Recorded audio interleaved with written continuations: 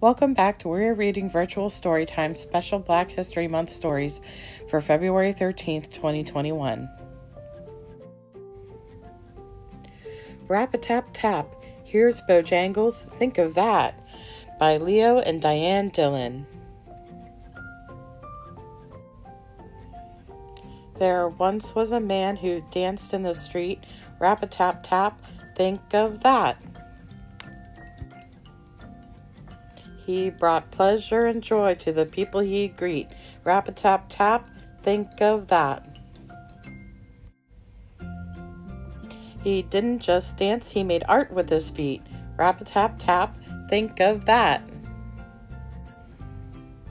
He danced past doors. Some were open, some closed. Rap a tap tap, think of that. He danced past folks in fancy clothes. Rap a tap tap, think of that. He danced through a place people called the Skids. Rap a tap tap, think of that. He danced through crowds of laughing kids.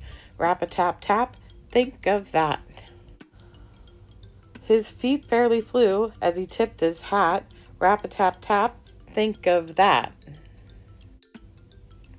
He briefly paused to pat an old cat.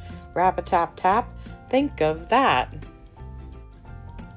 He danced rain or shine in all kinds of weather. Rap a tap tap, think of that.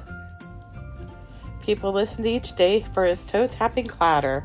Rap a tap tap, think of that.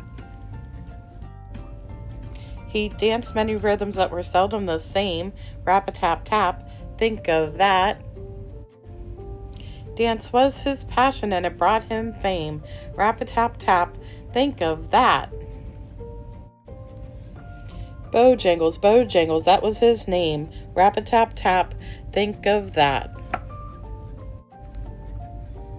Bill Bojangles Robinson, 1878 to 1949, is known as the greatest tap dancer of all time. His fame has reached mythic proportions. He had charm and charisma, and, it was said, he talked with his feet. His rhythms were so intricate and fast it was impossible for other dancers to repeat some of them. During the Great Depression of the 1930s, Bill Robinson was the highest paid black entertainer. He shared his wealth with less fortunate friends and neighbors through those hard times. Bill Robinson performed shows on Broadway as well as in famous clubs around the country. He found, formed revues that appeared in vaudeville, and he danced in several films, including Four with the Star, Shirley Temple. On May 25, 1989, Congress declared that day, which was his birthday, as National Tap Dance Day in Bill Robinson's honor. The end.